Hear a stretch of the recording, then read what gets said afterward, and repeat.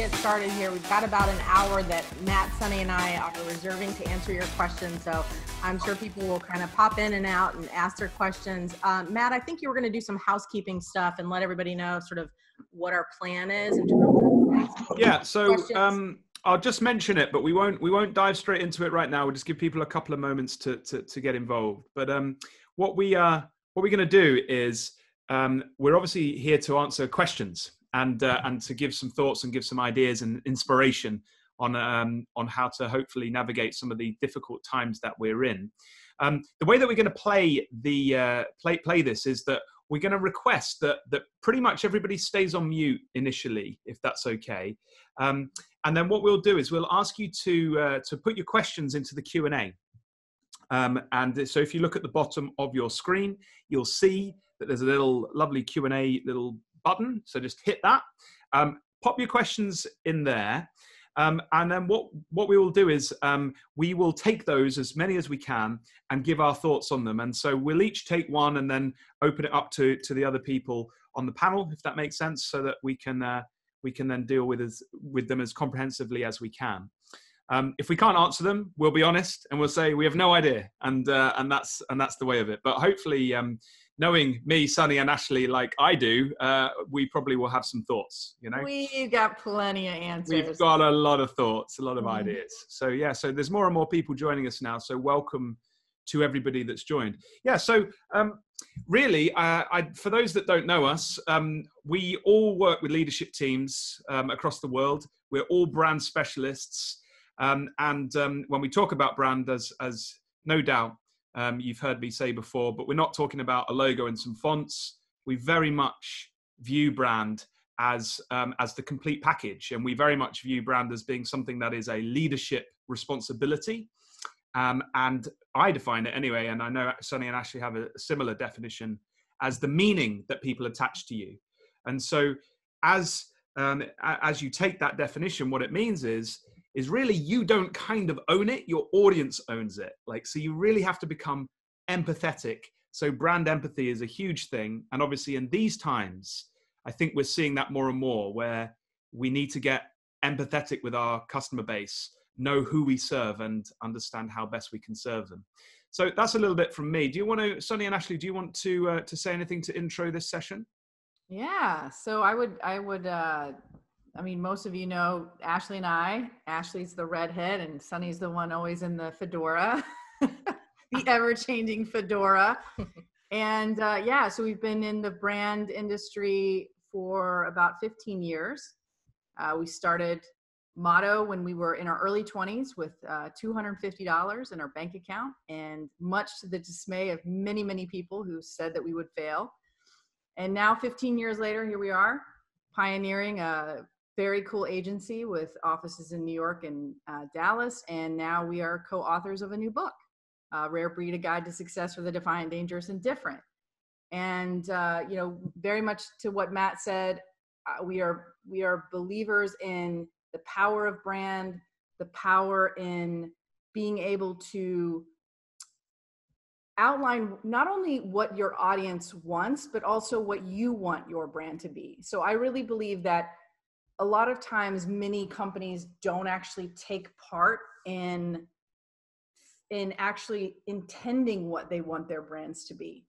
And so we often as leaders or at least in our experience sometimes leaders are a little bit more hands off than we'd like them to be that the, the brand belongs to the audience when in fact i think it's an actual two-way street where you actually have to build the brand that you want and hope and look to your audience to also receive that sermon because you want to get the people to the right church and you want to get them to your church and it's important that you understand the sermon that you're delivering and what that brand's going to be but i think especially in, in today's times with the landscape as it is that we have to think about how that message is going to be received so tone is where I think we have to all finesse our brands in, in, in this particular era right now of what's going on. So that's a little bit about us.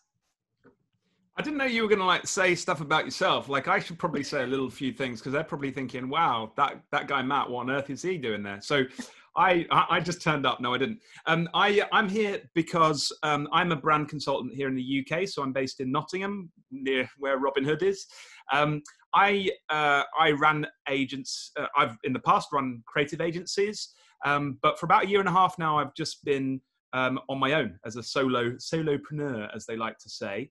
Um, and basically, what I do is I work with leadership teams to really help them align around their core brand uh, position and uh, and help them then to cascade that out internally within their organizations and then out to customers. So i'm quite a generalist um, but at the same time you know very big strategy head if you know what i mean um, with a core of of brand strategy being basically part of my offer. So that's me. And i'm i've also written a book called story Storyategy um, which is all about using story based techniques to help frame and shape that brand strategy. Um, I find storytelling one of the, the major ways to create meaning. So um, I basically build that into my thinking, um, and it's incredibly powerful. So, so that's me on this side. Not quite as as, as exciting as rare breed story Storyategy. You know, is is along is along is along those lines. But um, don't let him fool you. Matt is amazing. So, and the three of us have really, you know, recently gotten together um, yeah. which I think is really cool. He's powerhouse. Another mother. Yeah,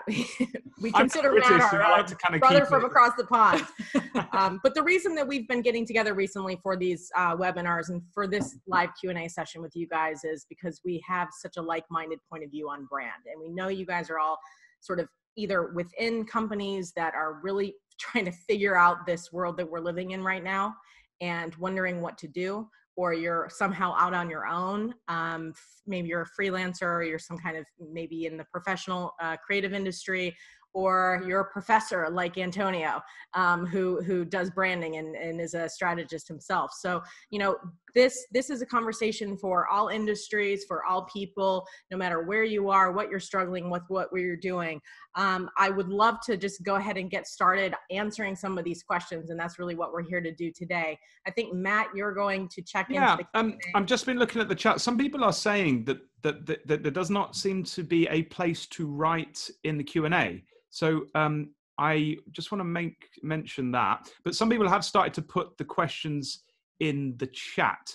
Um, what we're going to try and do, if we can do the tech, is uh, basically um, once you've asked a question, if we like the look of it, we're, what we're going to do is we're going to um, we're going to kind of invite people we're going to ask you to write your question in and then we're going to invite you on if that makes sense. So you can we can speak to you and we can get some of that that kind of um, re- conversation going because we might to answer the question we might have to dig a bit deeper and we might need to explore a couple of things.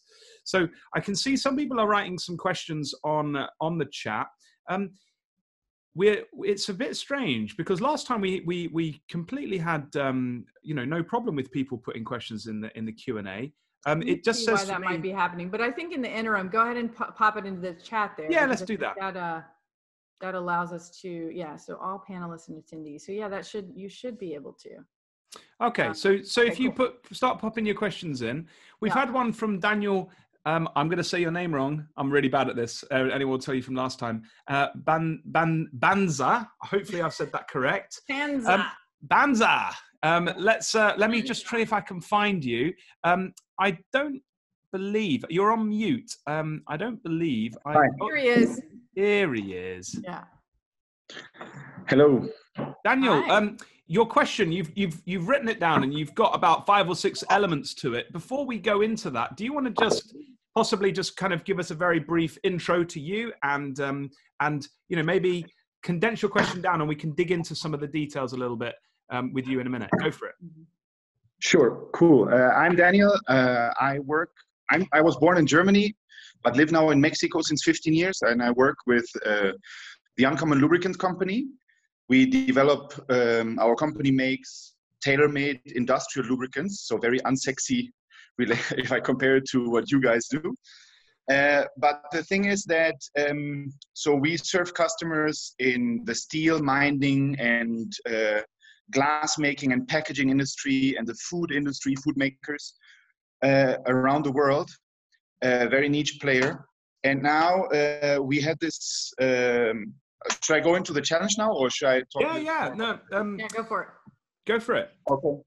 So um, we've been, we have have this problem right now. So we have a, um, a, a scientist team that develops like over 80 tailor-made new products every year for customers around the world and uh, it's normally it's based on lubricants for the industry but now uh, as we face the trouble of uh, shutdowns and uh, being having the risk to not be able to continue producing and delivering to our customers around the world and then having uh, food production processes stop or, or um, pharmaceutical product chains stop because uh, the, the, the parts break down yeah. we said okay we have to do something to keep our our our people safe and um, keep uh, operating as well as possible. So our scientists, we are, uh, they have developed a line of products that I've mentioned there. Like we've seen that, okay, we need to keep our plant, like new virus to come into the plant, we need to block this. So people who come into the plant, uh, how can we disinfect them like through a tunnel or something so that the virus gets killed off? Uh, how can we, um, when people touch things so that their hands don't get, if the virus is somewhere on the surface, that it doesn't stick on their hands? How can we keep uh, the hands protected like a coating or a shield? Um, how can we do this? Uh, how can we keep surfaces like tools that people use uh, and they, they share? How can we keep them from, if the virus get in contact with these tools, how can we uh, block them? So our scientists have developed skin products, surface protection products, and other kinds of things that have nothing to do with our core business. Yeah. Uh, but we have developed these products and they are right now in testing for their effectiveness and durability. Uh, and now uh, we have been using it now for a week, and now we think that we should donate these kind of things to uh, to hospitals or to others, uh, healthcare workers, and other kind of existential industries that have to keep working uh, and cannot risk. Um, yeah, being infected by this virus, no. So, but now uh, we have the dilemma of okay, so if we donate it, and then maybe if we have the formulas and we can manufacture these products on scale, we could sell them. But uh, what kind of branding should we engage, or what kind of branding do we have to adjust our brand in general, like to reposition ourselves not only as a lubricant maker, but in general as the as a whatever this category is or should we uh, tell just the story that how we develop products for us and we will share them with the world and with our 2,500 customers who wants yeah. it. And mm-hmm. so, yeah. Mm-hmm. my yeah, question to you is, what, what do you recommend? Okay, um, I'm just gonna do a quick little just gut instinct here on what I think that you should do, and then Matt and Sunny, you can join in and, and probably contribute some ideas as well. Um, I don't think that you should start a whole new brand. I think that a lot of companies, what we're seeing, if they have the machinery, the equipment, the the the skill the talent internally to pivot the product into a different category i think the most effective use of the branding platform that you have is to communicate the shift in why you're doing this it gives you relevancy right now as a business as well. We see a lot of distilleries, for example, instead of making beer and gin and vodka, they're making hand sanitizers. Or we're seeing Nike and Gap turning their factories into making masks and hospital gowns. So I, they're not creating new brands, they're creating new products for right here and right now. And I think that would be the most effective shift for you guys instead of starting something new. Um, help your audience understand why you're doing this um, for the greater good. I know there's probably a couple people on this on this talk right now who are facing similar things within their business as well. And I think that um, the most effective use of your time, resources, and and energy instead of creating a new brand, which takes a lot of time to do and do well and do successfully and to invest in. Um, I think that you should just pivot the communications and help your audience understand again why you're doing this, the significance of it, the tech behind it, the research that's driving it and how ultimately you know the, the big why if you will on uh, giving this this particular challenge and initiative some meaning. Okay. Matt sunny anything else? Yeah yeah i've got a couple of thoughts. I mean firstly i wanted to say daniel how fantastic it is to hear that story like how fast you guys must have pivoted into producing some of this stuff and how you have basically done what I um, what I'm advising a lot of my clients to do, which is to to think about their tribe, if that makes sense. Like who are we serving? Who do we serve?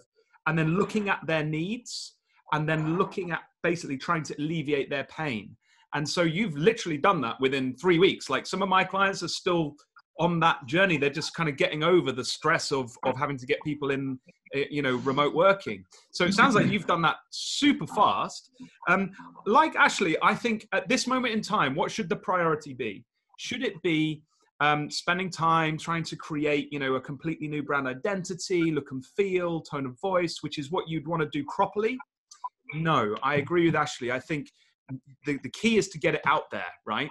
Um, however, I would say, um, and this is probably just with a caveat, that um, if you decided in the future to to do this longer term, um, and you thought that there was a market here and a need here, and um, then at that point, say in a, in a few a few months' time, I would probably suggest you then think about um, spiral, you know, spinning it off as a new as a new offering, and that that's because from my perspective, I don't know what Ashleigh if Ashleigh would agree with this, but from my perspective, the key thing of a of a proper brand strategy is to make decision making easy for the customer. So this is quite a different offer to the lubrication business that you've got. And so for me, uh, longer term, if you decide to do this longer term, then uh, you might want to kind of re, you know, create a new brand identity and, and it becomes part of the story. This brand was born out of the needs and necessities of the uh, of the problems of the coronavirus and then it kind of keeps it clear but for now as ashleigh says keep it keep it with what you've got make it part of your core brands you know your core, core brand communications um, and it keeps you super relevant um, as as we see the the, the turmoil, uh, um, you know, hopefully start to die down. Uh, Sunny, do you have any kind of final thoughts, or um, are you happy with that? I I think you guys did a beautiful job. I don't have anything to add to that. I, I definitely want to uh, scoot over to Annie because Annie has a couple of good questions in here as well. Okay, Annie, let's do that. All right. Thank you. Thank you, Daniel. Thank you. Thank Thanks, Daniel. I hope that was helpful. Yeah, uh, kind of because I need to put a name on the product. Oh, I see. so I don't know. so now our our product naming is super engineer like and super boring. So I want to create like uh, this concept. If somebody later wants to chat with uh, with me, maybe to share some ideas or to rebound, uh, bounce some ideas back and forth, uh, mm-hmm. I would be very thankful.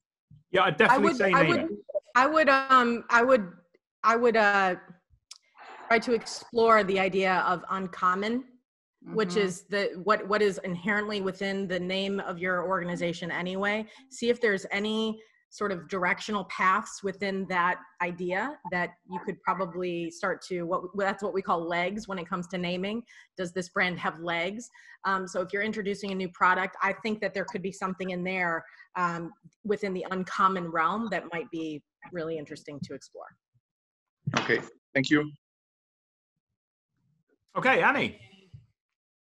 Hi, guys. Um, so I have had the pleasure of being a client of Sunny and Ashleigh's in the past. So I'm really excited to, to see you guys again.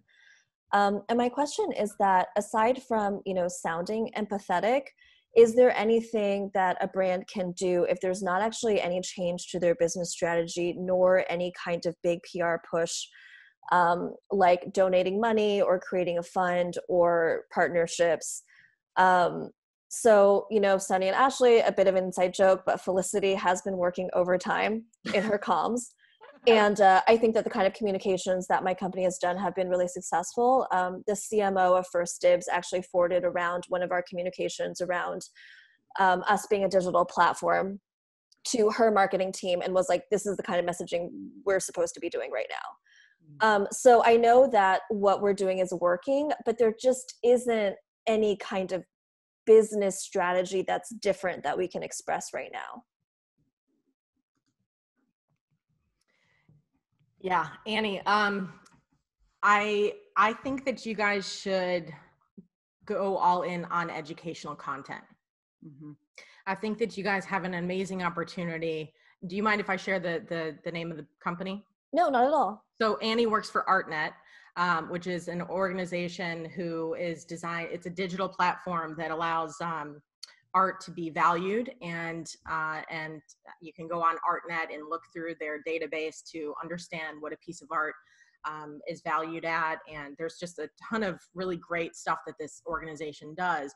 Um, they're really the leader in this realm. And I think that going all in art right now, in my opinion, like is is like a breath of fresh air. I think right now the world is in such a dire circumstance that art is actually something that can be positive and uplifting and can shift the conversation into creativity and into the ideas of why we need art in our lives and and and things like that so i think that there's a lot of really interesting educational uh, material that you guys could create and also this idea around collecting and investing in art so right now we're seeing a lot of things like oh should i invest in the stock market? Should i invest in right you know something like that? So i think there's maybe some investment opportunities here that you know when it as it relates to um, uh, educational content that you guys could creating that that maybe could help people see why investing in art would is is a long-term strategy and why that could be su- super valuable to them. So i think that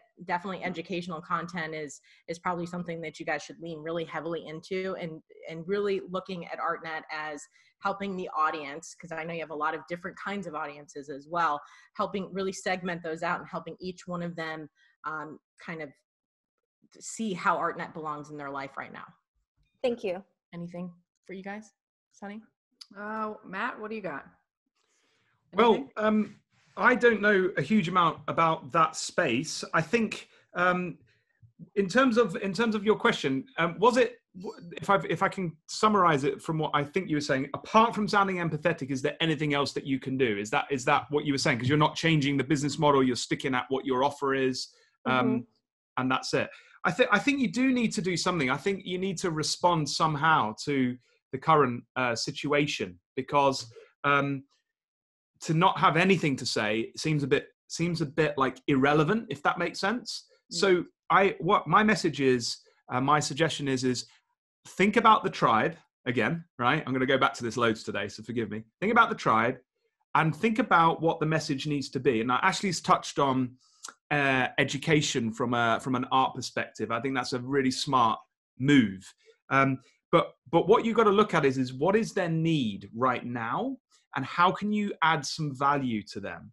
So it might be putting spotlights on stories of um, of of your customer base who are doing a great job or have you have have I don't know maybe positioned their art in an interesting way or maybe got out some old pieces that I don't know I don't know your space that well. I, I uh, I'm, I'm not very good at collecting art. But it's the um it's one of those things dig deep, think about that. And one thing I would say is if we're not sure, if you're not sure, why not um, actually take some of your what I would call your brand champions, like people that love you, love doing work with you, really trust you, um, and just give them a call. Like you don't have to do it loads of them. Just pick pick five, and and call them and say, hey, uh, how's it going? You know what what what could we could we do anything for you? Like how could we help you? What's your you know what's your current frustrations? If and maybe have some ideas as well. Like say if we did this would would you see any value in that? Like if we if we created some videos of us um you know doing a tutorial on how best to position art in a room or something would that be of of interest to you? Would that would you find that helpful? That kind of stuff. And they might say no that's a load of rubbish. But then you've opened the conversation up and then you can say okay well what what could be what could be of help so there's a couple of thoughts in terms of getting customer centric and tribe tribe centric. Thanks. I, I actually have a question, Annie. What, what do you what do you think you're doing well? I think we've done our response incredibly well, mm-hmm. um, and you know, we we came out early with you know a letter from the CEO that was really empathetic and and also underscored the idea that we've been championing the digital space for 30 years. Like this is our home, and now the our world has nowhere to turn but here. Mm. Um, I think that we've reframed our product verticals in a way that feels relevant and sensitive while still trying to earn revenue, you know? Um, and, and we're lucky in that our platform just lends well to the current moment. But I think that there's a lot of people doing splashy things in art right now. Mm-hmm. Um, so it feels like without the splashy element, and we are doing a lot of educational content, and we'll continue doing that. So so thank you, Ashleigh. Um, it feels just like something may be missing like like our audience is particularly after the letter came out you know our audience is waiting for something and i i guess you know I, I think a strong partnership is what we need, and maybe that's what I'm going to go look for after this call. Um, I think I have one in in the pipeline uh, where we can partner with someone else and help them amplify their message and their mission. Um, I don't know your model, but what about like other artists um, yeah. that maybe that maybe you've got? Maybe do a collab. Maybe get them together. Maybe think about how you could, um, you know, you know, create some sort of events and stuff whereby maybe they share stuff, insights, information. I don't know, something like that. I definitely think um, having something like that and offering that to your tribe right now is is is maybe of, of value. But check with the tribe. Check with the tribe first. Yeah, I think some partnerships could be really uh, beneficial at this point in time, uh, specifically for, especially if they're strategic partnerships where, you know, maybe it's not so much about selling at this point as much mm. as it is about, as Ashleigh was saying, education, partnerships. Where can you navigate the brand? uh, where can you navigate the audience because they're going to remember the moves that you make right now right and they're going to pay attention to that and whether or not you capitalized on it and came off as slightly skeezy or you you you really were giving you know that's what i'm seeing really good brands do like that are not tone deaf. You had i think you had asked what brands are doing it well. I'm seeing some amazing brands out there right now that i think are uh, definitely not tone deaf.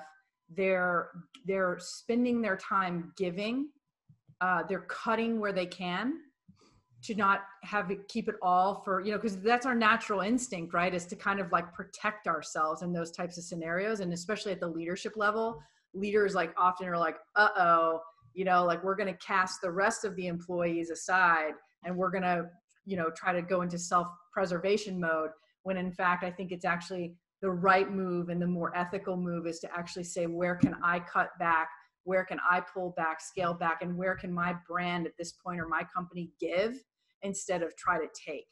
Uh, and i think those are the kind of moves that that will be remembered uh, in the long run of, of, of, brands that are doing it well. Um, Annie, and I have one more thing that I just just popped into my mind. So my apartment building in in New York, um, is doing this stuff where they're kind of helping people figure out what to do with all their time while they're at home and so like they what i um, have seen a lot and i haven't looked into this at all but it might be a good interesting content play for you guys but they're sending people to do virtual museum tours at like moma or the whitney stuff like that like is there stuff like that that you could share with your audience about what they could be spending their time doing as it relates to art so something like that might be interesting as well, just to mm-hmm. kind of continue to share. Here's how you can experience art, not physically, but still keep it in your lives like by going on these interesting museum tours from a digital standpoint. So that, that might so, be something to think about so as well. cool. What, what if you could set up your own virtual uh, exhibition with your with your artists? I don't know there, there, there must be ways of doing that. Um, so how cool would that be? Like that would that would totally get some traction. Um, and so yeah you can't come in and view the art but like we've set up something really spectacular for you you know and and even um even you know and allow people to walk around a space and design that space and, and make that make that digital space amazing and then maybe someone could buy the product and it could be then shipped to their house or something. Who knows? That sounds yeah, amazing. Maybe, maybe I'm not giving us enough credit, Ashleigh. You know, I think we are doing all the things that, that you've hit on, including the virtual tours. Um, okay. It feels like what it is is a lot of small things instead of mm. one really big cohesive thing. You know, when I think about yeah. a brand that's doing it really well, I think about Sweetgreen. Right. Um, their business is obviously really hurting, but they have made um, an, an an effort and, and a big deal about donating meals to hospitals and i think that they've run that whole campaign really really well and right. in a heartfelt way yeah um, and i and i guess like that is the thing that we we are missing um, mm-hmm. at this stage but maybe it's not the thing we need maybe it's you know something we partner on and help amplify somebody else's message so i, I really appreciate your response and, and all of your good thoughts cool let us know how it goes i will uh, let's see. Okay, Nikki, Nikki, I'm gonna. All right, uh, Annie, I'm gonna put you on mute. I'm gonna switch over to Nikki. Hello, Nikki. All right, so Nikki asks, not necessarily COVID relevant, but with the pandemic, I've had all projects put on hold. I want to use the time for creation and really dig deeper on how to be a pioneer in the industry, change management, but I'm struggling with the disruption factor. Any ideas on this or any tips on this? So actually, uh, I want to um, I want have to have you. Yeah, Nikki, yeah. can you expand on that a little bit? I want to make sure I understand the question fully. For sure. Uh, so I'm similar to Matt, and I'm a solopreneur, mm-hmm. and uh, it's been this way for uh, just under two years now, um, where I've just been working with primarily two clients full time in the change management space, and now those clients have put projects on hold, and I've really been feeling this need of, of I haven't been a fully authentic to to what I really want to be doing in the change management space. And so I've been u- trying to use this time now to um, kind of dig deeper in in what I think change management is and what I want to do with it and and what can be done with it. Um, but I'm struggling a little bit with how to push harder or like how to really disrupt the space of change management, the industry. And I just wanted to know if you all had any ideas on how to just keep pushing outside of that box that we've drawn, right, around the change management industry or any industry, right? Or how to like, redefine the an industry. Do you want to take that, Ash? Uh, Matt, that's go. a big one. That's yeah, a that is I know. I mean, but I feel like I'm in an redefine an industry. Love it, love it. Okay, I've got a few thoughts. I've got a few thoughts. Um, so, I think what you're saying is is that you do, is it that you need something to, that you can sort of use as a rallying cry, something to sort of make you stand out. Is that the idea? Yeah, but I feel like the industry is a little old fashioned. Like it's it's been this this model for a couple decades and you've got a couple big leaders of a, a corporate corporations who are kind of the token change management learn this do this model and it's successful and i feel like there's a place for change um, especially now with part of it is with covid is we don't want things to go back to normal necessarily right? We can help change management could be helpful to drive companies to help that new change or that new normal become become an actual reality and and help support that transition. Um, so yeah I, I think my question is it's i'm struggling with how to present disruption. All right all right. Here's some thoughts here's some thoughts. We started the um this uh, this kind of Q and A, and both myself and Ashleigh and Sunny have written books. Right? Have you ever thought about? You don't have to write a full on book, but what about um, a small, you know, sort of PDF that kind of sets out your your position, draws your stake, is your um, is your is your mantra, is your kind of uh, manifesto for what you want to change right that's that's maybe one one thing and what the opportunity of covid brings to your industry the next thing i would suggest in doing is um, getting a deck together get a presentation together and video yourself giving that presentation right? And uh, and make it emotional tell a story you know so, sort of really kind of push for that. I don't know if that redefines the industry but it definitely carves out an opinion and uh, and a position. And particularly if you have some sort of tactical plan some sort of way that you think this could change things for the for the better for the good. And you know sell in that vision draw that story paint that picture um, and uh, and basically you know get yourself out there. Use use social media. I don't know what setup you've got but um but basically you have to show a little bit of yourself if that makes sense as as a solo practitioner um, which we don't it's uncomfortable to do but the the more you do it um, the more that your personal brand and your personal opinion will get will get out there. That's that's sort of what comes to mind but i don't know i don't know if that answers your question but yeah i definitely encourage you to to to to sort of formalize that thought and push it out there in some sort of way that people can start dealing with and and understanding. Yeah i agree with that. I think that, that uh, great. I think that in order to become a thought leader you have to consistently be consistent with framing out the world that you hope to create or to build. And so I think if you can start to think about all the questions that you've ever been asked. So this is something that Ashleigh and I are doing right now actually with Motto. And I it's interesting because when we're talking to our clients, prospects, etc., we get a lot of the same questions again and again and again and again.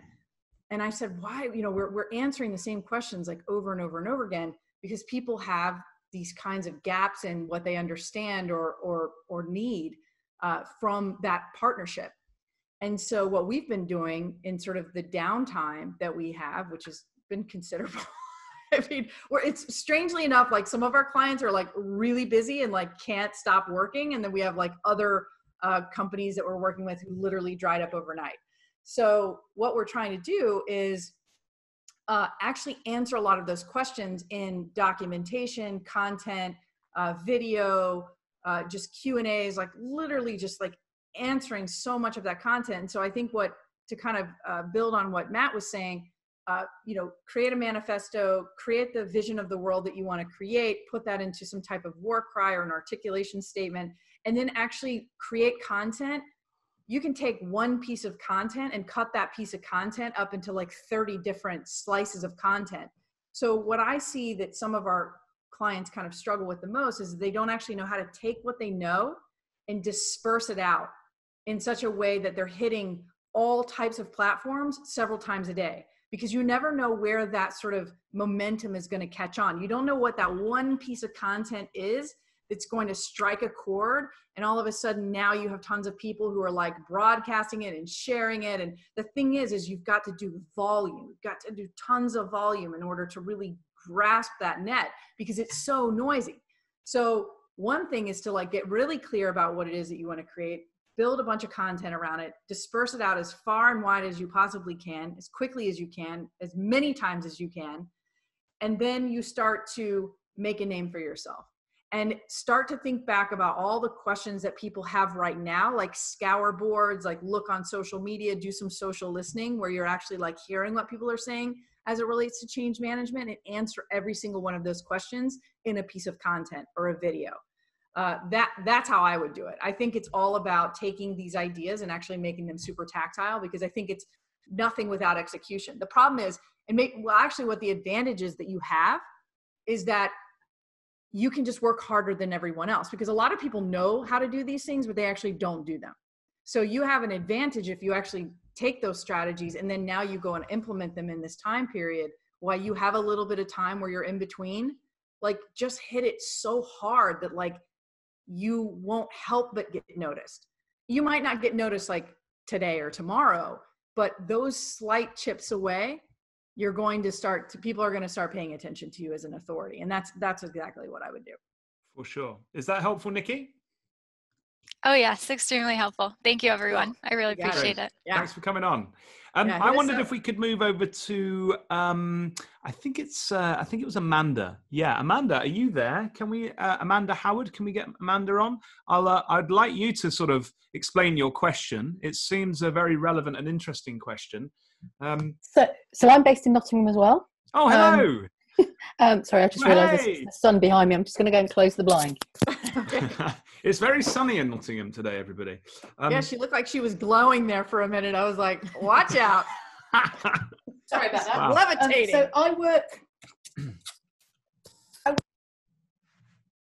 oh, Amanda, your, your sound's gone. Your sound's gone. Have you knocked a microphone? That better? That's better. You're back. You Go for it. Sorry about that. So I work for a company called Medichecks.com. We do online blood tests yeah. and we do them remotely. So you get a kit to your home, you can do the test and send it away, and then you get the results online. So we've been kind of working in the telemedicine digital space for 17 years. Um, and um, we've done over 5 million blood tests. So we kind of know what we're doing. Mm-hmm. What's interesting is obviously at the moment we're offering a service for people who perhaps have never understood it before. Um, so we're talking to lots of new audiences, um, and also we are developing a COVID 19 test, immunity test, which we are working with various partners in the NHS to get validated. Um, and we will want to give it to core workers, but also we will probably want to work with corporates um, and potentially individuals to, to, offer it to them. Amazing. So obviously, this, this is a space in which we've been for a long while, and we've got a certain amount of credibility. We have not chosen to go out there with the first product we could have. We want to go out with a product that's validated and works. And as I say, we've been talking. I've never spoken. I've managed to get an NHS contract this week, which we've never ever done.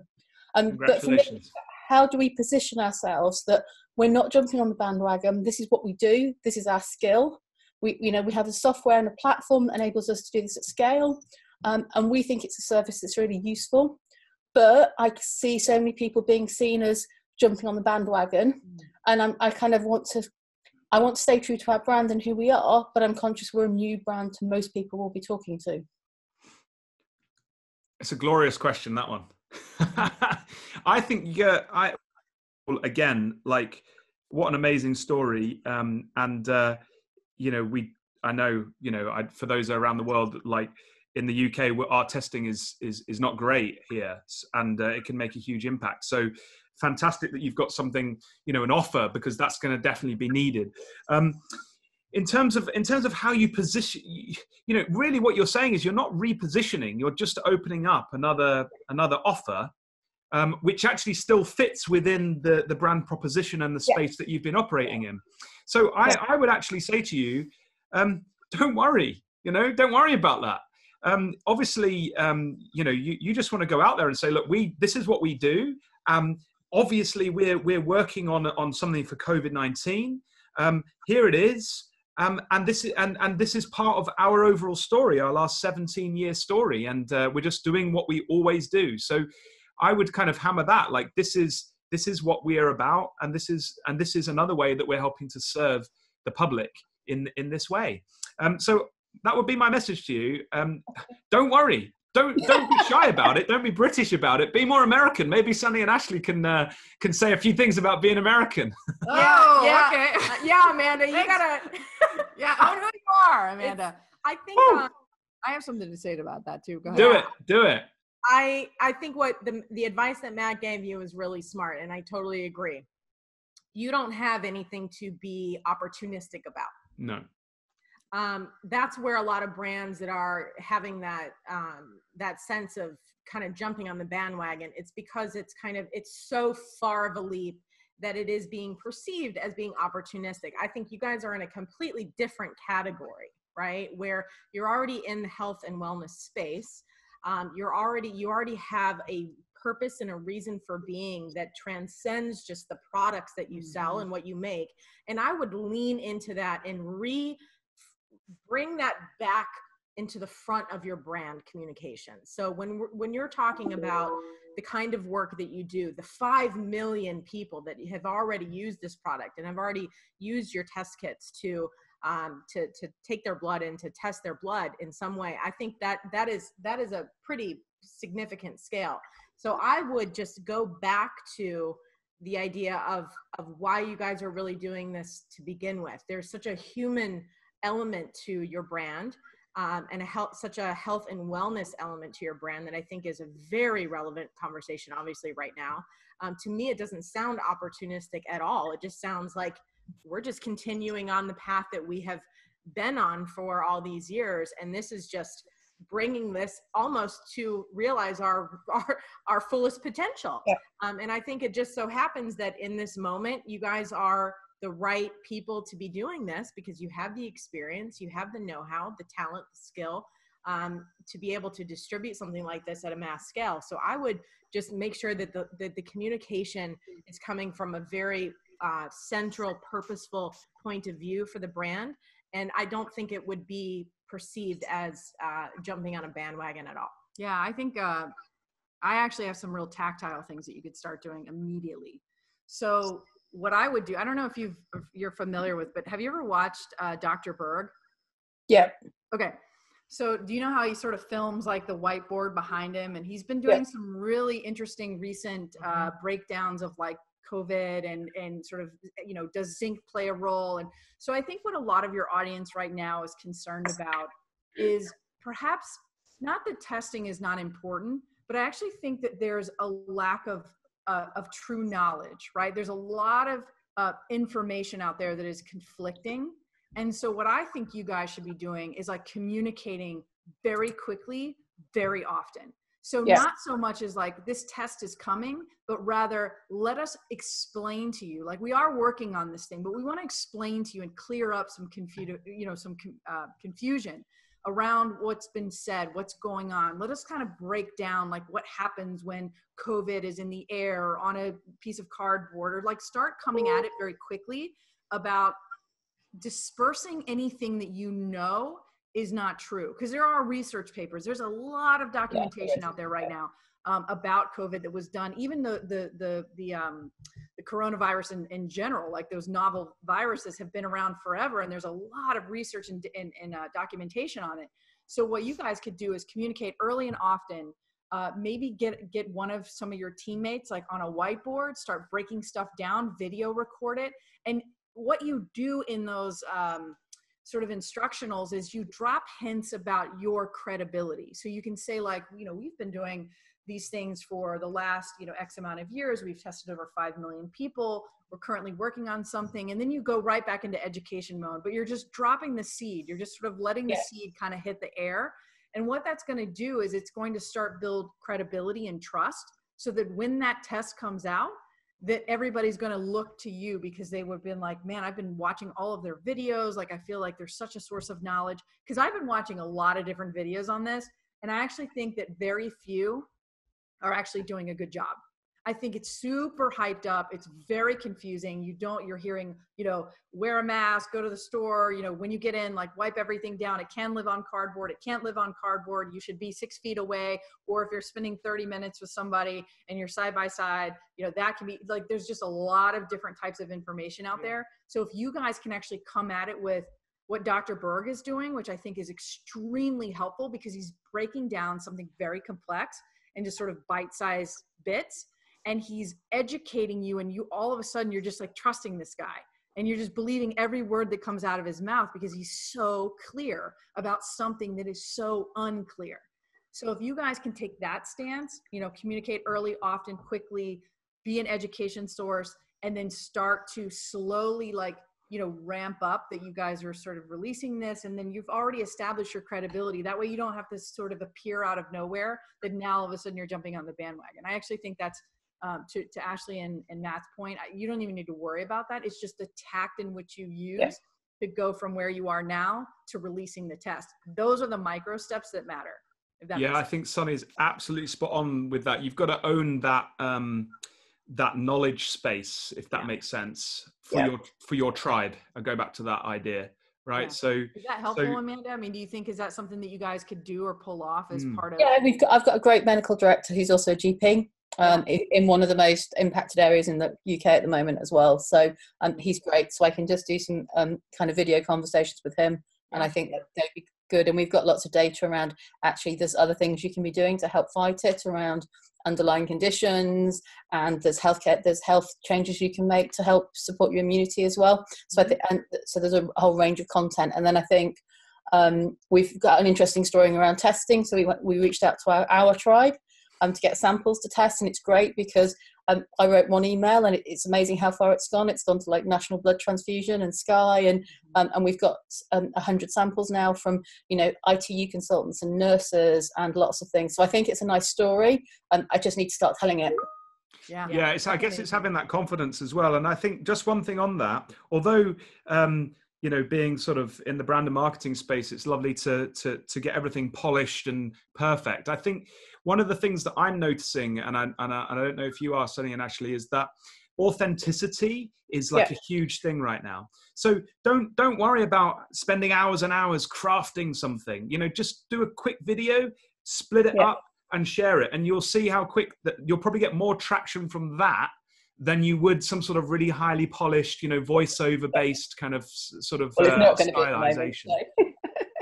yeah, yeah. I, I, think too many brands right now are actually trying to like craft uh, all of these perfect messages, and I yeah. think we're in such an unperfect time, and you're getting emails and communication. I mean, I'm hearing from brands that I think I bought like a coffee from one time, and I've never received any communication from them, and now all of a sudden they're you're telling me all of their practices and everything that they're doing and how careful mm-hmm. they are and you know and i'm sort of like gosh this is so tone deaf. Like what what why are you telling me this? Like it, we're already bombarded we're already overwhelmed you have to know what the mental space is and i think you just have to cut the bullshit and like go right to like what you know best and just do you. Like we're yeah. so afraid to own who we are and when especially we're in a situation like this where now we start to rethink everything we're doing because now we're in a, a place of uncertainty. So that's what i think really poor leadership and poor brands do is that they actually get paralyzed. Like we talked about this on the last call but this idea of going tharn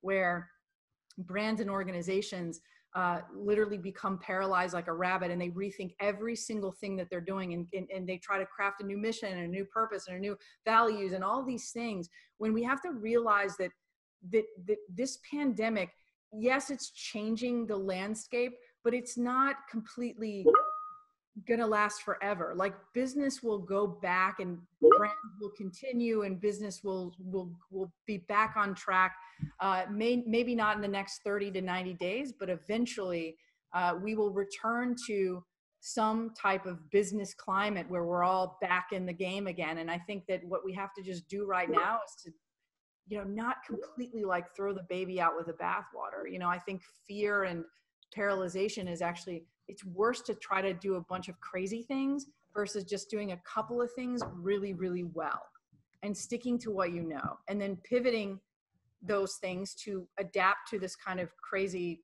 peak but realize that the mission and the values and the things that you guys really hold dear and who you are at your core i don't think actually has to change. I think you just have to sort of repivot it for what you know is going to work right now in the moment and then go back to some of the tactics that have always worked. So that's my advice anyway. Brilliant. Thank you. That's been really helpful. Yeah. And reach out to us, by the way. Any anyone on this call can reach out to emails out to everybody too. and um, you know make sure that you guys uh, can can touch base with us and let us know how things are going. Um, let's if there's anyone else that has one final question, we're almost at the end of their um, let's see, I guess we do have one. We've got question. one more, yeah. All right, so, so Nadia, if that's the way uh, correct correct pronunciation of your name. We'll take your question and then um, that might be it. Yeah, and fire fire off any more if you guys can while we have a few minutes here left. So I'm gonna unmute you, Nadia. Hey Nadia. Maybe she's oh there she is. Hello. We can't hear you if you're chatting.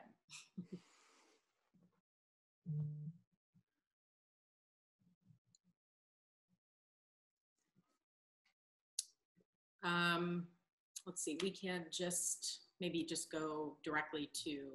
Let's just ask the, the question. question. Okay, so Matt, are you able to see that question? I, ca- I can't I see it. I've just been trying to find it. Are you there, Nadia? I have unmuted. Why can't we hear you? Um, we can't hear you if you're talking. What? What's? What, can you guys see the question? Yeah, I think it looks like she might have just put it in a private chat. Ah, um, well, that's why I can't see it. So I'll just read it because Nadia, we we can't hear you for some reason. I don't know if you want to check your um your audio. Yeah, if you're on headphones or something. Go. Sunny, go ahead and read. Okay. That. So Nadia says these days we are mostly talking about how to get our clients to connect with customers and continue selling. Do you think we as brand strategists in a way should be thinking of introducing new online tools so that clients can bring their businesses online in new ways like apps portals etc because it was in a way inevitable that businesses would move online future it's just we have been thrown into this situation all of a sudden yes okay got it uh, Ashleigh, do you have some thoughts on that, or who wants to take it? Do you think we? I'm going to repeat the question, Matt, so you can get that too. Thank you. Thank you very much. Question: Do you think we, as brand strategists, in a way, should be thinking of introducing new online tools so that clients can bring their business online in new ways? Uh, that is a very universal question. I would go back to principles of branding, right? Of brand strategy. So, who are we here to serve? Um, and I would say that even without this sort of um, problem that we're all facing with the virus, um, I would say having um, a way of, of helping people and bringing them into a platform and bringing them together and allowing them to support each other and listening and connecting and adding value to them is uh, is is something you'd want to do anyway. But now that we are facing, um, you know, lockdown and, and all of the challenges that we are, I would say now more than ever is a great time to to to try and support your tribe by getting them um, to connect online. So I think uh, to uh, reply to your sort of question in quite a general way, I think yes, anything that connects your brand and adds value is is going to be good. Um, I'd sort of challenge one thing, which is, um, of course, like having a mindset that we are here to just sell i think is is is something that i would i would push back upon. I think we need to obviously we need to sell right to, to be alive and as a business and to kind of sustain ourselves. But if that's our focus then we're going to miss out because our, our our audience our customers they don't really care how much money we want to make. What they care about is the change that we're going to bring to them in their lives. And so you know the brand isn't what we say it is it's what the customer says it is. So we've got to uh, go back to that sort of principle of brand empathy. Like what what value would it be to somebody if you've created this platform um, where they can all talk together? Um, that would be my sort of my sort of point. Is it if, if it's there so that you can just push out and sell to them then obviously we've got we've got to i don't think anyone will join it but if it's there to add value so that they love getting involved in it they love connecting on it they love sharing information on it they, they they're really getting value they're getting their questions answered or whatever it might be then is it kind of naturally will go on to the fact that hopefully they will buy from you um, and become champions of of the brand. So I guess it was just a couple of things. Maybe it's just the way you worded the question, but um, I hope you don't mind me sort of pushing back against that a little bit. But I would say, yeah, we've got to connect people. I would say the the, the final sort of thing I would mention is. Um, really the the thing that's creating huge value is experiences that's what people crave and want and um, the the challenge I think brands have got is to move from being commodities to move up. You know, a lot of brands create services around their product offering, but really the, the the sort of the gold standard is to move into the experience economy. The how can we put our services and products together and package them and offer them out to our to our tribe so they have an amazing experience. That is the key, and I think just on that front. Um, you know, I, I, was working, funny enough, um, just uh, just this week with an events company, and you can imagine they're absolutely stung, absolutely huge. They can't put their, their this particular company was a, a, a gin festival, right? That's one of the one of the things that they the sort of offerings that they ran. So we were working on ideas whereby, well, um, obviously, we could do it online as a Zoom call, but that's just dull, isn't it? Everybody's doing stuff online. That's not the same experience. So we dug back deep into why do people go to this gin festival in the first place, right? What are our assumptions around that? Um, they go to explore new gins and they go to meet new people, right? So if we can take those two ideas and put them online, how would what would that look like? Uh, what how could we meet that need? Um, and so we've come up with all sorts of insane ideas um, whereby we're trying to create an experience um, that is basically the offline experience and the, and the core drivers of that online. And just to sort of give a couple of ideas away, um, if you if you start if you start thinking about, for example, sending a lot of in the UK, the postal service is still kind of operating, so we can still send stuff out. So if you sent, for example, all the delegates um, uh, we were working on, say, a little pack with some nice new gins on it, with some interesting things that don't make much sense unless you actually attend the online um, the online experience. Then um, then what you will do is you'll get higher engagement and you'll add that value to, to the tribe. So we've got loads of ideas around that, which I can't probably share for confidentiality issues. But the, the, the, the thing is, is that you can be innovative in the digital space and create those digital experiences with people live in the moment and make it really interesting for them. So I hope that was hope that was helpful. I don't know if you guys, Sunny and Ashleigh, have anything to say about that. No, I mean, I, I you covered it really well, Matt. I think a lot of businesses who are not used to having um, their business online are really struggling mm. to figure out how they can bring that because I do think that um, brick and mortar is not going to go away by any means, but there are going to be a lot of companies that don't survive this. And I think the ones that will are the ones that are going to be able to bring more of their business online and create more community around their brand online. So I do think it is the responsibility of a brand strategist and it maybe sounds like nadia you are a brand strategist so you're maybe struggling with this question um, I do think it is the responsibility of a brand strategist or of a branding person if you're working with a company or a client that is really struggling in this realm to figure out how they bring more of their business online, how they create more awareness for their brand online, and how they build a community and a tribe around their brand online and in online um, atmospheres. And so I think it is our job to help usher that transition in um, with new ideas and ways of thinking and help um, more traditional business become more of a digital business in the future. Um, and that doesn't happen overnight, and it's certainly not going to.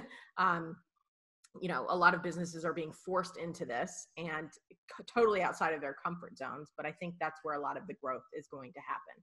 Um, and so I'm really excited to be able to work with clients that who who have not really had this problem in the past, but have, who have probably recognized it even before this thing hit. You know what? We need to really do better when it comes to digital. We need to do better when it comes to online. Um, this this was looming in a lot of business leaders' minds before this ever happened.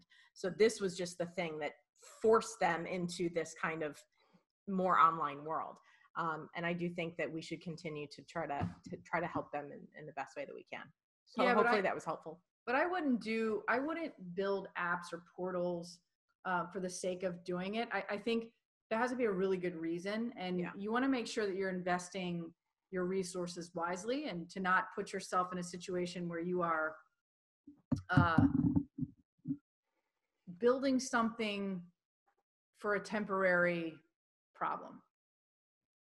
So if you were to think about you know how long it might take to do something like that it might not the, the benefit just might not be there. So customer portals things like that apps you know I'd, I'd need to know a little bit more about that to sort of weigh in on whether i think that's a strategic decision. I mean i could be swayed but i don't i don't think my gut tells me that's not the right place to put your energy. Uh, but perhaps there are things uh, as ashleigh and matt were saying that you could do from an education standpoint from a content standpoint. Also you know we're doing a tremendous amount of virtual workshops. I mean we've got teams that are in like eight different countries right now that we're navigating through uh, brand and leadership workshops because not necessarily to not only help them think about where their brands are at and how to pivot but also to also see things as opportunities. Because a lot of times what i'm seeing is the sentiment is that uh, everything is shuttering whereas like i see these things as actual opportunity to gain a new audience to build a new audience to communicate with a new audience because you now have the opportunity to reach customers that you were never able to get before. And not only are these people that are moving digitally will perhaps remain your customer who were used to shopping on you know direct in a environment or in retail now shifting to buying things online because they have to they've been forced into buying things online. So now they're becoming more savvy they're becoming more knowledgeable and now you can quickly elevate your brand or your position or whatever you're doing to meet that need. Or even things like where companies who have never been in a in a digital environment you have the opportunity to navigate them through how to work in a digital environment. So there's just in my mind more opportunity than i think a lot of companies actually realize there is and how to double down on the things that uh, you you you can do to, to grow and expand your business in a very difficult time Love that, Sunny. All right, we have one more. Worst, we'll stay on to answer this one more, Matt, maybe you will too. Um, and th- this is a good ending question. Um, well, Tonio, okay, one, two, yeah, keep keep coming. If if you got a couple, we can stay a little bit longer. So, um, Hamza, I think I pronounced it correctly. Uh, you said how? Um, can you tell us how you envision the world after this pandemic? I don't believe it'll go back as it was before. So that's a very broad question.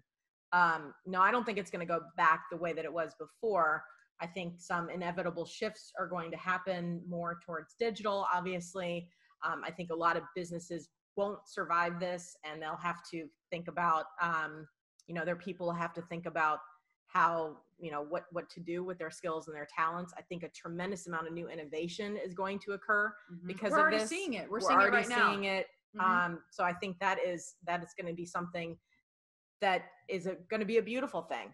Um, I think social distancing, once we all get over the fear of where we're at right now and like being scared to be next to somebody socially or hug them or shake their hand, um, there's a lot of fear around that. And so I don't know how long it's going to take us to get over that fear that we we're, we're learning now um, with this new behavior or if we ever will, or if we're going to continue to keep our distance from people for a long time to come. I, I don't, I can't speak on that, but I do think lots of new innovation is going to occur. We're going to see um, lots of breakdown of old ways of doing things, a lot of rising of new ways of doing things across all industries and sectors.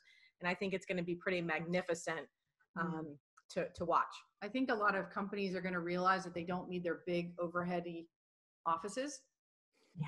I think that's going to be a huge thing for a lot of companies because they're going to get used to working from home and having remote teams and be like, wow, I can build a culture. I can maintain a company. I can be a leader. I can have leaders within my company who are not sitting in the same room together. I think that's going to be a big aha moment and it is a, a big aha moment for many companies right now.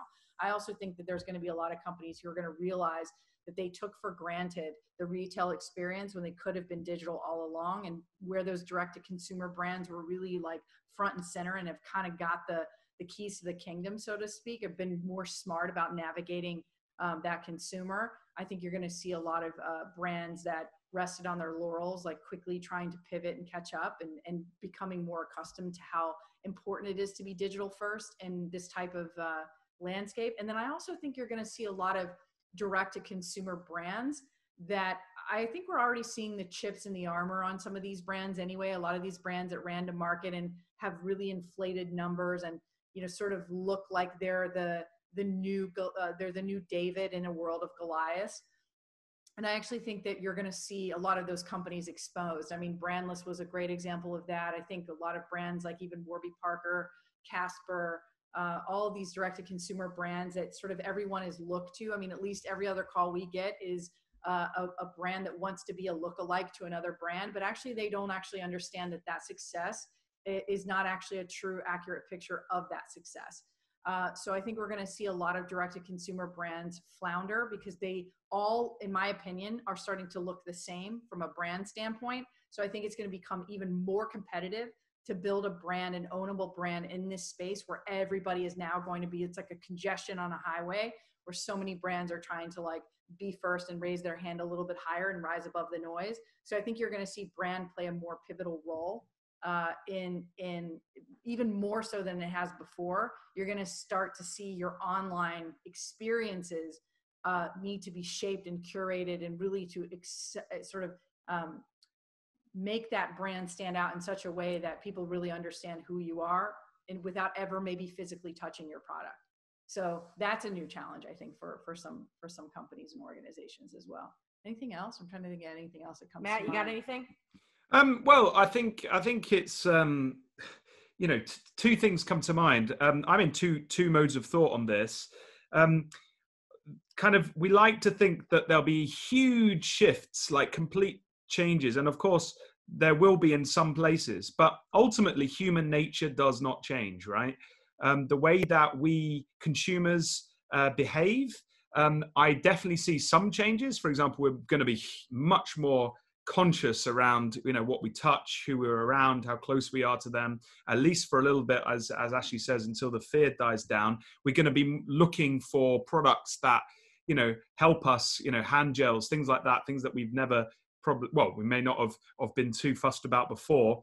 And i think brands are definitely like supermarkets and um, and airlines and and sort of public service um, offerings are going to have to take that very very seriously in terms of providing safety for their customers. Um, but but but really my kind of my other thought is it's kind of kind of probably is it going to snap back to you know just with minor adjustments like longer term if we're in 10 years time when we look back yeah there'll be some businesses gone but consumer behavior how is that going to change massively? So my kind of take on it is that that that maybe it won't change as massively as we as we initially think. You know we're sat here now the chaos is going on but in 10 years time when we look back at this moment we'll say well was life massively different? I don't think it will be massively different. I think things will um, get back to some form of normality. But uh, that's just my gut. That's just my gut from kind of knowing human nature and knowing that you know people are going to love to go to pubs and clubs and restaurants and bars and that that you know it will and travel. That's going to come back. It's just that there'll be these little frills around the edge to help keep us safer and to and brands will will want to make sure that that that happens in those industries. But I definitely also would sort of say what Sunny said about innovation coming up with new ideas. Businesses and brands are going to find um, that the pivots that they're making now actually are kind of working. And so the customers that they they gain in these innovative moments, you know, they're not going to suddenly switch them off. They're going to keep that service, that offering going. And so I definitely think we do we will see some some new and innovative ways of of doing business in the digital space like like like has already been said. So I kind of have like this really weird. I don't even know if that answers the question, but I have this kind of weird thing. It depends on your industry. It depends on your consumer behavior within that industry as to how big the change will be. My gut says that in in ten years' time, it, it, it won't look massively different to to how it looked 15 years ago, apart from some of these innovations. But that's just my my gut. We'll see if I'm right or not. I hope that's the case anyway. Fair enough. Fair enough. Um, okay, I think we've got one last question from Tonio. I'm going to unmute you, Tonio, so that you can ask your question. Okay. Uh, how do I unmute? You? Okay, okay. I'm, I'm here. Hey. Hi. Thanks so much. Um, forgive me if this is a bit of a tangent, but um, it's a question kind of on personal brand. I I run a very humble, small network of creatives, designers, mm-hmm. and you know our entire client base kind of dried up overnight, small businesses to you know, mid range. And what I want to do is my question is, you know, how can I better be of service to my clients after this period, right? So I want to really make this time, um, take this time to like let them do what they need to keep their business alive or die. And you know, how can I stay in this learning mode? What what kind of things can I do to develop? And it, I really appreciate the example of like thinking about the questions that I'm always answering, but like maybe what grad school programs can help me or what what tools can I just make myself and my my clients better, you know? Um and uh maybe even break into an agency setting. What you know, what how, you know, maybe thinking about your careers backwards. Um, mm. That's a fantastic question. You know what was a really good question. Well, I, I think what was really interesting about like some of our uh, questions is that over like the 15 years that we've been doing this, like they were all the same. The questions are fundamentally, like eternally the same. And I thought that they would change over time as more and more people became more educated. But actually, the fundamental questions remain the same. So if you can actually answer those questions, I think that uh, you are in a better position to arm yourself and your uh, team and your own work with the knowledge that you need to answer the, the appropriate questions that I think are universal, right? Uh, and then I think you had mentioned something about learning and, and, immersing yourselves. I think great leaders like are, are curious by nature and learn consistently. They they are hungry for every ounce of information that seems relevant or unrelevant at the time. I know that I look to uh, even when we're evaluating clients, like I look outside of their industry all the time for ideas because they're so uh, they're so uh, sort of um, possessed with this idea of like looking over their shoulder and mm-hmm. looking to the right and to the left because they want to see uh, what they're who who's doing what.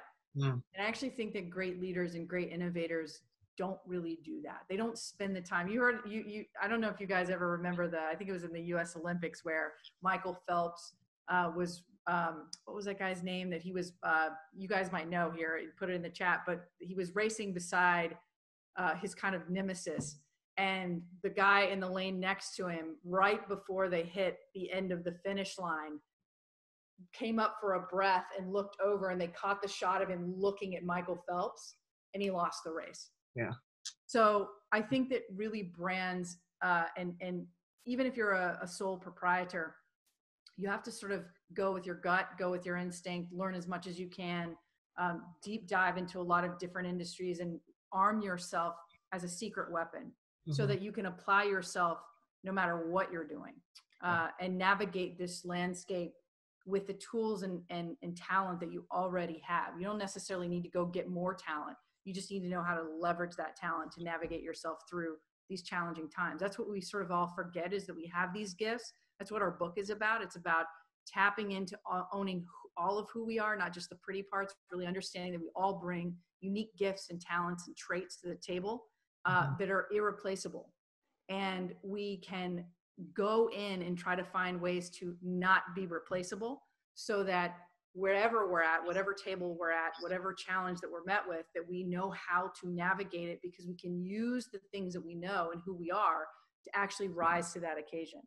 So I don't know if that answers your question, but I, I you probably already have within you some of the skill sets already that you need to kind of navigate this weird time we're all going through. Yeah, and I would add to that, and I, I know Matt, you've got a you've got a thing to say about this too. Um, you know, this is a very real question because we're in in similar boats, all of us, right? The Matt, us, and you, we all have a similar type of business in some ways. Um, and I think that the way you asked a question, how can I help my clients? And I think what's interesting about that question is that the way that you help your clients is by helping yourself in your own business. Mm-hmm. So work on your business right now. Not, you know what I mean? Like learn your finances, learn your better your contracts, get work on your decks. You know what I mean? Like work on your internal stuff, your operations, your processes, your systems. Learn as much as you can about your P&L, you know, like whatever weak spots you have yeah. as an owner in your business, I think now is the time that you can mm-hmm. really like learn how to be a better owner yeah. Um, yeah. Because that's how you're going to ultimately end up helping your clients, right? Um, so there's even some great resources. I don't know if you guys know of David Baker, for example, is a guy who's been doing this for years. He works specific, he's an expert that works specifically with creative agencies on their positioning and stuff. He's got a ton of amazing content that helps people like us like know what to do or how to do it you know you can take it with a grain of salt or you can really like dig in and and learn from somebody like him or even like a Blair Enns right? The win without pitching guy. I don't know if you know who that is but you know a lot of really valuable insight from experts who who whose whose focus it is to help creative businesses run better businesses and help you be a better business owner. Because yeah. i think what what happens in a lot of creative agencies is you love it for the passion and the design and the the creativity of it but you're not probably the best in business so i think the the mm-hmm. way that you can get yeah. better is to become a better business person mm-hmm. um, and so i would suggest taking the time to work on that yeah i would also make one caveat is that your clients just so so there are industries right now that are completely dried up so a great example is one of our clients uh, was is in the movie industry Mm-hmm. Yeah. Completely like they are in the business of m- making films, distributing films, getting their films in the uh, theaters, and they are completely paralyzed right now.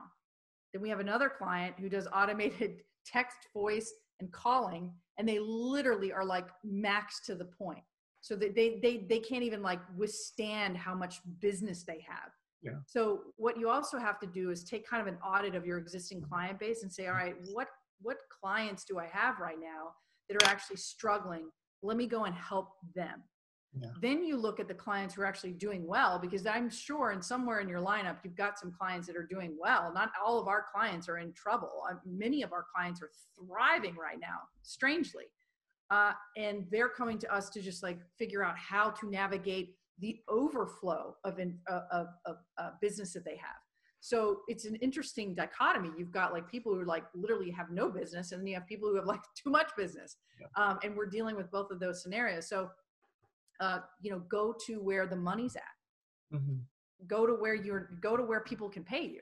You know, like you've mm-hmm. got to keep the business running. So go to where people can pay you. But don't spend your time. Don't spend so much time in with people that just simply can't afford you right now. It doesn't mean that they don't have, they don't mean well. It's just they don't have the money to give you. So just try to give to them in a way that you can and, and, and try to work with people that can actually pay you. Cause we've got that situation going on right now where, you know, we've got clients who are, we're working with and it's, they're fine. There's, there's no, you would never know that there's a problem going on. Mm-hmm. So mm-hmm. that's my. Um, I've got a couple of thoughts, if I may, before we wrap yeah. up, just for uh, Tonio.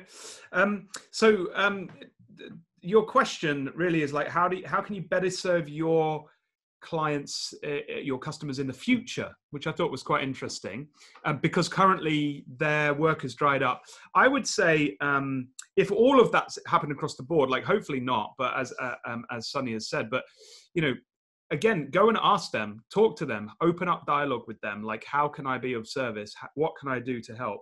Um, I would say a couple of things. If um, uh, you know, I, I I don't know if you're. Are you? Would you say you're quite early on in your career, Tonio, or like how would you sort of early on? Yeah. Yeah. I mean, yeah, I am. Okay, a couple of thoughts then. Um, one would be um, get try and find a mentor for yourself. Like mm-hmm. that's always a good thing. Doesn't even have to be in this industry. Try and find a mentor and uh, and and see whether you can meet with them like on a monthly uh, basis. That might be an idea. Um, I would also like to throw in a couple of sort of online learning things. IBM are doing a design thinking courses. They're, they're currently offer, offering them for free, which I think is amazing. So shout out for IBM. Um, you've also got the kind of design thinking stuff with AJ and Smart. That's really cool. Um, read books. Um, you know, there's there's a few books we've already mentioned uh, already on the on the webinar. Uh, so Rare Breed, uh, there you go, as a shout out, ladies. Um, Storyategy, but you know, I find um, if you want to move it more into the strategic space, um, anything by Marty Neumeier, who who I've had the privilege of being mentored by, he he's fantastic. Um, Chris Do and the Futur and what they're doing over on their YouTube channel is also fantastic from a creative perspective. So definitely check out the Futur without an e uh, on on on um, on YouTube. So that's just named a few. There's just to name kind of a few um, a few things that might help. So hopefully that kind of that kind of makes sense. Um, I think we're probably going to wrap up now. Um, you know, oh, someone's just put Seth Godin. Absolutely, the alt MBA courses that he runs, anything that comes out of Seth Godin's mind is brilliant. Um, so definitely shout out to Seth um, for that. We'll we'll send everybody a uh, an email when this is uh, when we wrap with a link to this as well as uh, links to some of the people that we had I think we all had mentioned on here. So kind of giving everybody like a quick jump off point for some of the resources that we mentioned in here. I've got a ton that I can put in, and I, I bet Ashleigh and Matt do too. Let's so do that. We'll, yeah, we'll share as much as we know uh, with you guys to to help you. And you know, yeah, like Matt said, you need a mentor. Like shoot Ashleigh and I a note, shoot Matt a note. We're happy to uh, help you in any way that we can because we've certainly learned a, a bit, and we've taken a few black eyes in the process. And uh, so happy to to share where to steer clear from and also what to what to push forward on. So hope you guys enjoyed it. We really had a blast. Thank you so much. Thank thanks for thanks for joining us guys. And uh, stay safe and we'll, we'll we'll catch up with you soon i'm sure. Thank you. Sounds good adios everybody